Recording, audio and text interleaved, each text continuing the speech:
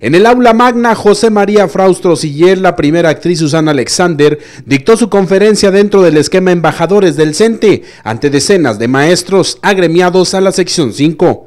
En entrevista dentro de su camerino, la conocida mujer dijo que en México hay buenos maestros y otros de los que prefirió no hablar. Lo que acaba usted de ver es lo que hago en todo el país. Esto que usted, y desde hace 35 años. Eso sí, debo decir que mi discurso como que no ha cambiado mucho.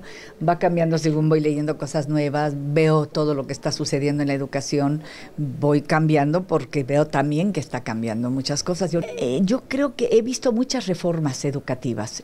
Nunca lo hacen de mala fe. ¿Usted cree que se levante en la mañana el secretario de Educación, cualquiera que este sea, y que diga, ahorita voy a ver cómo me... No, cree que está haciendo lo correcto, estudian en otros lugares cómo están haciéndolo, cómo están lográndolo, y quisieran introducirlo, lo que es... Susana Alexander estuvo en Saltillo para brindar dos conferencias en El éxito de cada mexicano. Están presentes sus maestros.